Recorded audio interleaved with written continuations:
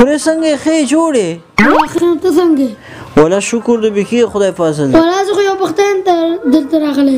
څنګه پښتن ته راغلی خدای دې خیر پیښ کی پښتن دې د ماما جانا کتا دی واده کولو کولو واخوسو په منځ کې مې جنجال نه راغلی دې خوشاله ځوان راز تیجده زم غواړم ماته وک خوري خبره ده چې دا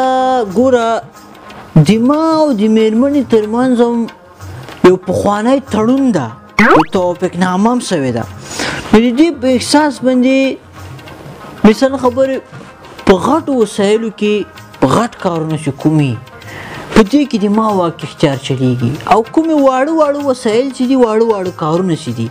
په دې کې مېرمنې واک چلیږي نو په دې وجه باندې د مونږ ژوند بغیر لانجو کنجو ډیر خوشاله روان ده نو ما جان پوه شم لږ وضاحت سره وای وضاحت سره خود څه ده کنه خبره وضاحت سره چې وستوې زه به وضاحت سره خبره ته وکم نو لګور لکه واړه وسایل د سیدی کنه لکه هغه په وړو وسایلو کې ټول واکې دي چلیږي مثلا د خبرې په کوټه ته کوم رنگ ورکو کوټه کې کوم کالی نه اچو د واړو وسایل دي کنه ټلویزیون کې کوم چینل راړو کوم ډرامه ګورو چیرته په چکر زو کوم جې ته زو کوم جې ته نه زو کوم پارت زو کوم رقم بوټان اخلو کوم رقم نه اخلو کوم رقم کالی نه اخلو ورور ګل جانا کوم رقم بالښتونه راوړو جریته او کوم رقم موټر اخلو کو مثال خبر کوم رقم ډوډۍ په خو کوم رقم خواړه په خو لکه دا واړو وسایل چې کوم دي لکه کوم مثال خبر میلمه راولم رای ولم نه راولم کوی شوی میلمه ته چای ورکو میلمه ته چای نه ورکو لکه دا واړو وسایل چې کنه نو دغه ټولو کې د دې واک چلیږي ځکه پاتې چې سول دا غټ وسایل څنګه دي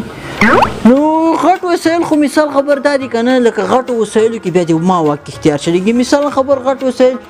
امریکا ولې ته مترقي کړي ولې د ما آباد ده مثال خبرې اکسیجن سره کم اغږیږي مریخ ته خلک ولې وختل کنه لکه انټرنیټ څنګه ایجاد سو نو لکه دا غټو غټو کارونو کې کنه دا کدا بچایانو دا بچای کارو کې دي غټو غټو کارو کې دي ما وخت اختیار چلیږي پوه شوې